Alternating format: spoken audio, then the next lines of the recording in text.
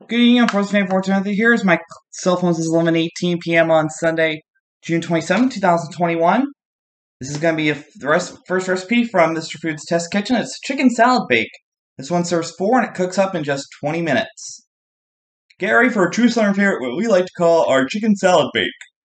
Really, it's a Southern dish? Well, I'm all up for that. Discovered in an old cookbook, this recipe comes from the best of combines the best of the old, old-fashioned flavor and comfort in one casserole dish. Take this dish on a picnic or send it to a potluck.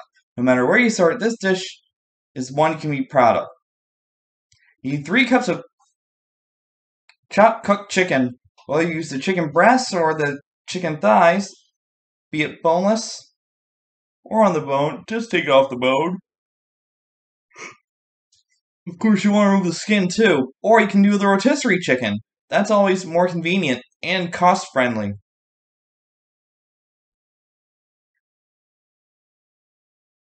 And you need two celery stalks chopped, small onion finely chopped, one jar of chopped pimentos, a can of cream of mushroom, cream of chicken soup, um, I should say.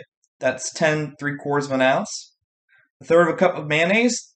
Don't use the Miracle Whip stuff. Use Hellmann's, the real stuff. Because that's going to make the difference in this one. Three quarters of a cup of shredded cheddar cheese. And three quarters of a cup of crushed potato chips. Of course, you can use Lay's or Ruffles, Utz potato chips, any brand you like. But remember, it has to be plain flavored. No flavored chips. Not for this recipe. Because you want to keep it traditional, right? Of course you do.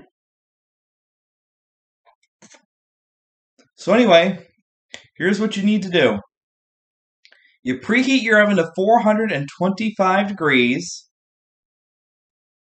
Well, in a large bowl, combine the chicken, celery, onion, pimentos, soup, and mayonnaise. You mix it well and pour into an 8 inch square baking dish.